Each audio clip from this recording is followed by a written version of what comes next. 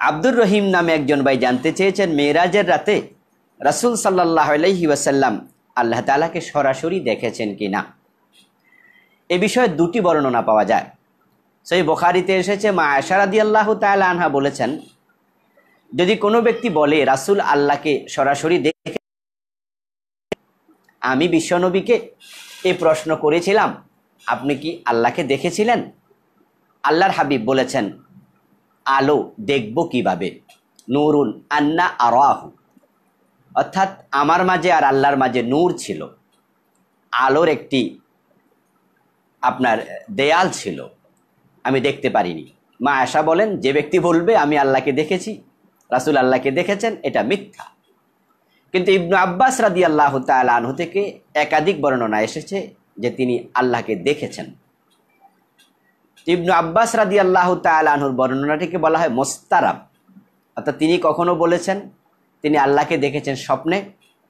কখনো বলেছেন, তিনি আল্লাহকে দেখেছেন মনে মনে।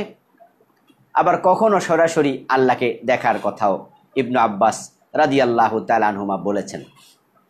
দুটি হাদিস বিপরীত, একটিতে দেখা আছে সাব্যস্ত, আরেকটিতে দেখার কথা নেই। এই জন্য কোনো কোনো আলেম বলেছেন আর তাওয়াক্কুফু আউলা এই বিষয়ে আমরা কোনো সিদ্ধান্তে না পৌঁছে চুপ থাকাই হচ্ছে সর্বোত্তম।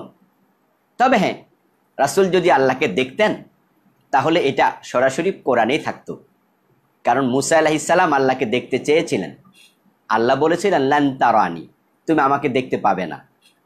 তো তার বিপরীতে যদি রাসুল মোহাম্মদ সাল্লাহ সাল্লাম দেখতে পেতেন, তাহলে তো এটা কোরআনেই থাকতো। কিন্তু কোরআনে বিষয়ে কোনো কথাই নেই।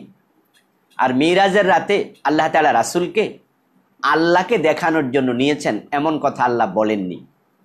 বরং তিনি সুরাবানি ইসরায়েলের একবারে শুরুতে বলেছেন, লিনুরিয়াহু মিন আয়াতিনা আমি আমার নিদর্শন দেখাতে চাই।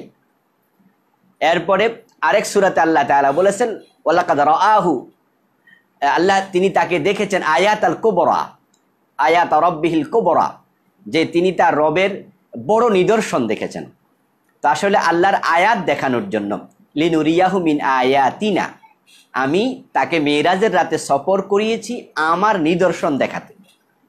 মালাকুত, জাবারুত, জান্নাত, জাহান্নাম, মহাকাশ, এগুলো আল্লাহ দেখাতে নিয়েছেন। তো সেটা আল্লাহ বলতে পেরেছেন কোরআনে। তো আল্লাহকে দেখলে আল্লাহ কেন বলবেন না? বরং এটা তো অনেক বড় ফজিলতের ব্যাপার ছিল। কিন্তু এটা কোরআনে আল্লাহ বলেননি।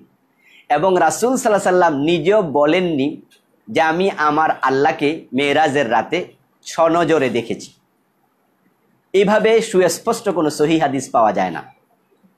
তো যেহেতু ইবনে আব্বাসের বর্ণনা মোস্তারাব আর মা আশার বর্ণনাটি বেশি সহি। তো এই জন্য আমরা কোন সিদ্ধান্তে পৌঁছব? দুইজন দুরকম বলেছেন এবং দুজনে বড় মাপের সাহাবি।